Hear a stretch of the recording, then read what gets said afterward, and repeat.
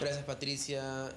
Lo que vemos en imágenes es uno de los más tristes recuerdos, una de las cosas que nos hacen llamar a la mente de lo que fue el terrorismo, una de las imágenes que eh, simbolizaba Sendero Luminoso y que obviamente usaba su líder, eh, terrorista Abimael Guzmán. Nos encontramos en la Avenida España, dentro del Museo de la Dircote, en donde se está exhibiendo toda, todo el material que se incautó en las diferentes casas donde estuvo eh, los líderes de este grupo senderista. Mucho material bibliográfico, así como muchos eh, obsequios, por decirlo de alguna forma, que enviaban los eh, senderistas ya detenidos de las cárceles hacia su líder, el conocido presidente Gonzalo.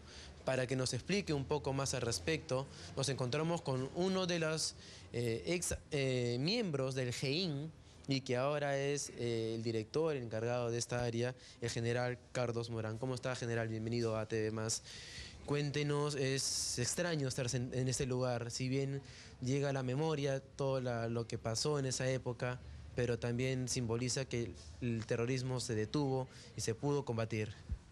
Buenos días, eh, Patricia. Eh, estamos en el Museo de Adricote, donde se encuentran eh, las especies, documentos, banderolas, regalos incautados en operaciones contra el terrorismo entre el año 90 y 92.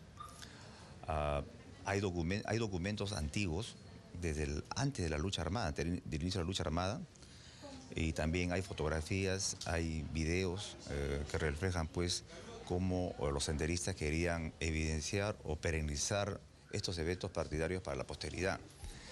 Eh, también hay, hay restos eh, artefactos explosivos, morteros, artesanales, dispositivos electrónicos de iniciación, que fueron incautados en operaciones contra el terrorismo en la década del 80 y 90, pero acá lo medular es que se encuentran eh, informes políticos que reflejaban cómo era la marcha organizativa de la organización terrorista y que apuntaban ellos entre la década del 90